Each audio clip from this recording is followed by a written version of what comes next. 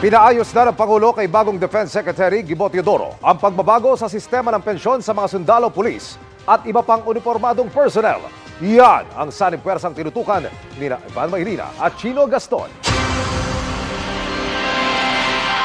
Sa pagbabalik niya bilang Defense Secretary, posisyong huli niyang hinawakan noong 2009, pinatututukan ng Pangulo kay Secretary Gibo Teodoro ang reforma sa pension fund ng mga sundalo, pulis at iba pang military o uniform personnel.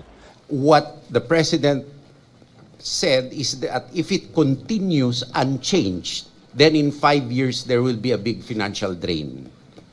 Now, the initial job actually is to minimize as much as possible the hemorrhage immediately. And then, because a self-sustaining uh, pension scheme needs time, you need to build up the fund. And we will need to raise sources in order to, to find sources in order to raise capital for the fund. And you need to grow the fund. Sa ngayon kasi ay wala silang kontribusyon tulad ng SSS at GSIS members. Kaya gobyerno ang sumasalo sa kanilang pensyon. Mahigit dalawang daang bilyong piso na yan ngayong taon at aabot sa isa't kalahating trilyong piso sa taong 2040. Sa ngayon ay labindalawang panukala na ang nakabimbin sa Kongreso para magtatag ng bagong sistema ng pagpepensyon kabilang ang pagkakaltas ng kontribusyon sa kanilang sweldo tulad ng ibang kawani ng gobyerno. There is no finalized uh, agreement yet, as far as I know. I'll know more later on. But I think that everybody, just as long as they are contributing to the future or their secure future, it's just like us. We, we, we pay for medical insurance, educational plans, etc., and they see, perhaps, that their, their, their money is going to something that will benefit them in the future, I don't think there will be much objections. Susuportahan at ipagpapatuloy rin daw ni Teodoro ang AFP modernization at patuloy na susuportahan ang pag-iit sa ating teritoryo. Our territory is our territory. And uh, UNCLOS, the basis of that, cannot be changed by the passage of time nor changes in administrations.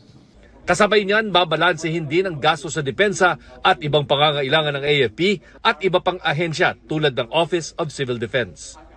We cannot continue to have a Department of National Defense without a capital outlay for our own department. Isa raw sa unang gagawin ni Teodoro ang makinig, kumonsulta at pag-aralan pa ng husto ang sari-saring mga issue at problema na kinakaharap ng Defense Department.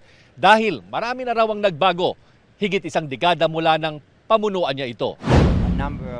Wala pa ang bagong Defense Secretary sa pagtitipon ng Asian Defense Ministers at Security Officials sa Singapore noong nakaraang linggo.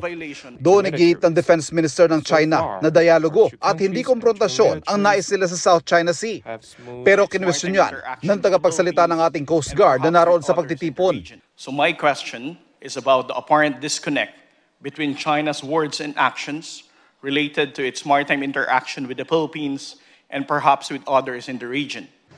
Inihalimbawa ni Tariela ang pangaharas at pagtataboy sa ating mga mangingisda sa sarili nating exclusive economic zone na sinundan ng panunutok ng military grade laser ng China Coast Guard sa ating Coast Guard.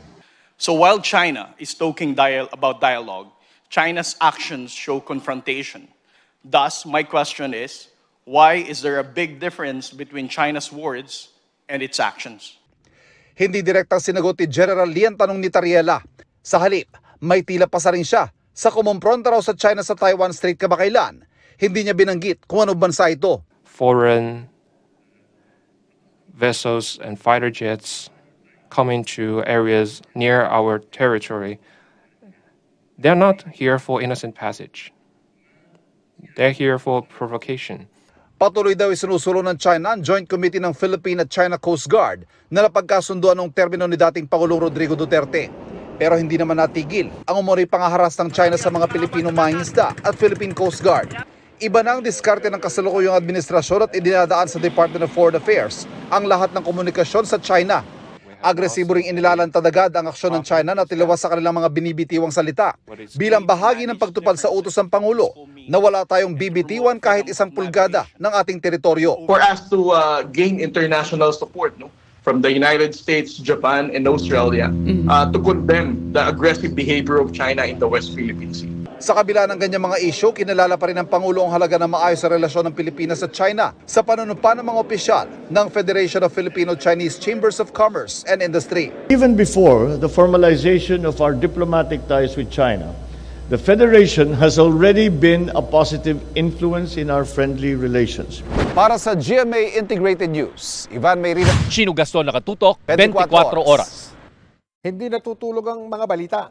Kaya para sa pinakasariwang balita, mag-subscribe kayo sa aming YouTube channel.